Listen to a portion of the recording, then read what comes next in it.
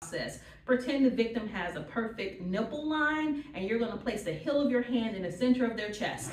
Yes, the chest should be exposed. And men, if you feel uncomfortable exposing a woman's chest, the Good Samaritan law is going to protect you if you are rendering aid. If you still feel uncomfortable and you have 911 on the phone, you've called for help, we want you to start those chest compressions on top of clothing. But if you do realize and you're really trying to save this person's life, the reason why we expose the chest is in preparation for the And so we do want you to do something. Um, and there is a healthy fear of, you know, maybe lawsuit or litigation because you exposed a woman's chest. But that fear, I hope to negate that today and to decrease it because we need for you to save a woman's life the same way you save a man's life.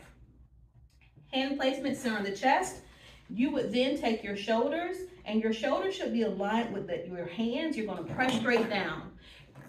Lock your elbows. When you compress deeply,